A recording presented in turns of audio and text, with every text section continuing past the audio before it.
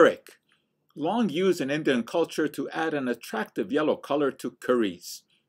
But it has also become a dietary supplement of immense proportions.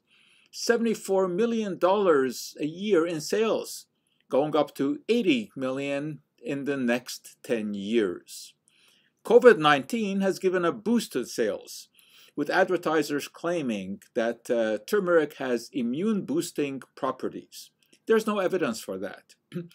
In fact, there's scant evidence for the other claims about the benefits of turmeric as well, about uh, joint pain relief, about cardiovascular benefits, about anti-inflammatory effects. These are not supported by proper randomized double-blind controlled trials, although there is indeed a lot of anecdotal evidence. Well, turmeric is the tuber of a plant, and it is ground up into a yellow powder, and the supposed active ingredient is curcumin. Now, although there is uh, no really great evidence about benefits, unfortunately, evidence is now emerging about problems, possible effect on the liver.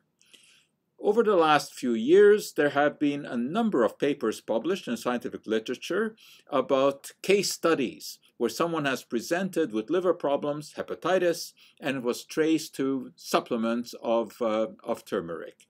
And um, very recently, there have been about 20 cases reported in Italy and over 100 cases in France with 17 documented hepatitis related to uh, some sort of uh, supplements of turmeric.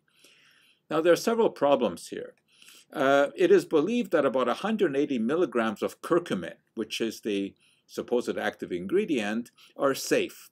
But we don't really know how much there is in these uh, supplements because they are not overseen properly by any kind of regulatory agency. And usually they just talk about curcumin in the extract of turmeric. We don't actually know how much uh, curcumin there is. And because curcumin has very poor bioavailability, uh, manufacturers add piperine.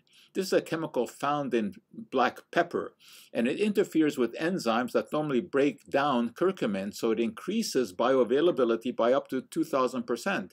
Unfortunately, that can also increase the risk of, uh, of side effects. Now, the fact, of course, is that in comparison to the number of people who are taking turmeric supplements, the incidence of these side effects is, is very low.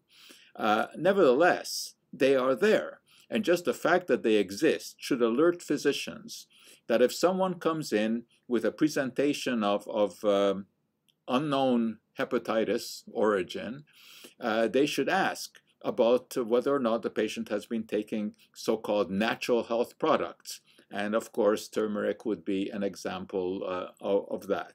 So what we have here is yet another example of the false belief that anything that is natural is safe. And that for today is our Cup o'Joe.